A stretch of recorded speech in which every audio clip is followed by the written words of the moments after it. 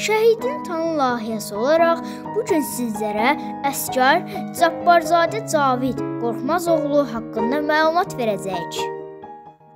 Şəhid Cabbarzadə Cavid Qorxmazoğlu 1997-ci il avqustun 10-da Bakıda Bülbülə qəsəbəsində anadan olub. İbtidai sinifi Quvallı məktəbində bitirən Cavid 316 saylı orta məktəbdə 11-ci sinifi başa vurub. Cavid orta məktəb illərində musiqi məktəbinin tar sinifinə də gedirdi. İdmanla da məşğul olurdu. Hərbi xidmət illərində aprel döyüşlərində də mərdliyi ilə iştirak etmişdi. 2017-ci ildə hərbi xidməti bitirdi. 2020-ci il sentyabrın 27-sində Vətən müharibəsi başlayanda Cavidin ayağı sındığı üçün gipsdə idi. Həkim demişdi ki, ayağı bir ay gipsdə qalmalıdır. Ancaq o 2 həftədən sonra gipsi açdırdı. Sentyabrın 29-da qisas, həyəcan və sevincdən Cavid gecə səhərə qədər yata bilmədi və sübh tezdən cəbhəyə yollandı. Atası təkid eləsə də, o artıq ayağının acısını unutmuşdu.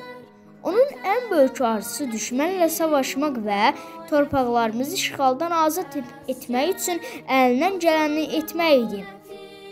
Cavid Cabbarzadə snayperçi kimi Vətən müharibəsində Cəbrayıl, Füzuli və Xocavənd rayonlarının azadlığı uğrunda gedən döyüşlərdə iştirak etdi.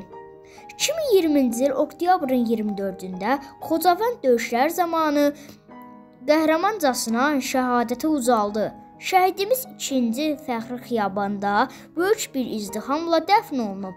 Prezident İlham Əliyevin sərəncamları ilə Cavid Cabbarzadə ölümündən sonra vətən uğrunda Füzulinin azad olunmasına görə medalları ilə təltif edilib.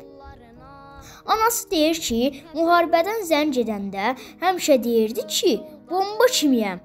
Cavidin döyüş yolu dostları da bu gün onu xoş xatirələrlə xatırlayırlar. Deyirlər ki, o çox cəsarətli, mərd və döyüşçü idi. Həmçinin çox pozitiv, mehriban bir insan, son tikəsini dostları ilə paylaşan biri idi. Vətən sənin kimi oğulları heç unutmayacaq. Cənnətdəki doğum günün mübarək, məzarın nurla dolsun. Ruhun şad olsun, şəhidim.